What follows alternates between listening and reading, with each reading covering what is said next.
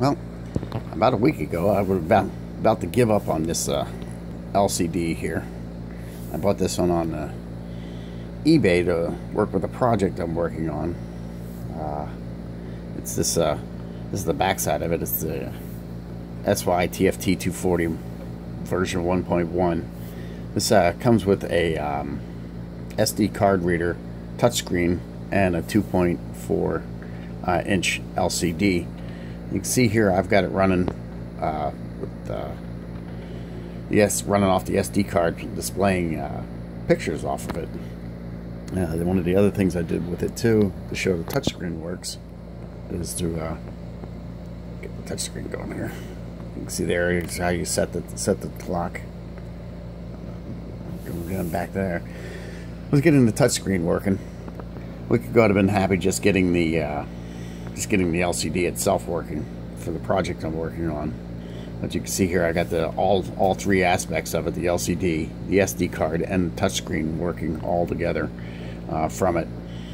Uh, biggest problem, just there was wasn't seem like there was very clear information out there on how this stupid thing was supposed to be wired. Every time I went to a page, it really didn't tell me what.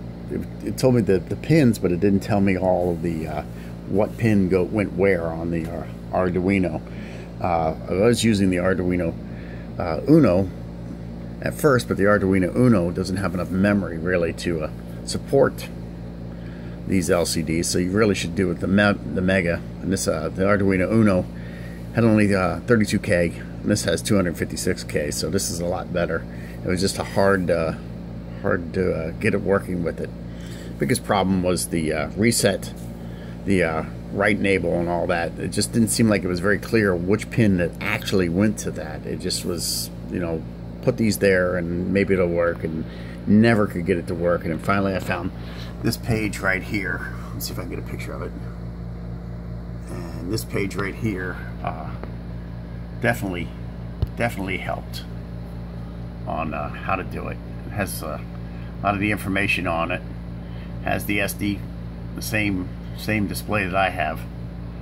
Uh, some information of the uh, header. This was the most important thing. This is what got me working. See? You can see that it tells you right where to put the pins. Uh, I'm telling you, as soon as I did that, the thing came alive. So these people here who wrote this know how to operate this.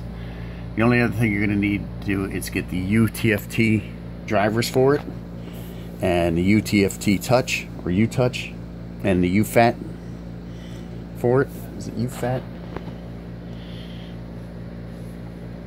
And uh, load all those up and uh, it'll start working. Just follow the instructions. You know, if I'd have found found this page sooner, I would have had this working a lot, lot sooner than I, I did. But uh, you can see there's the clock.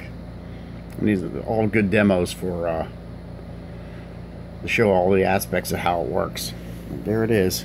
It's got the pictures going on it and everything.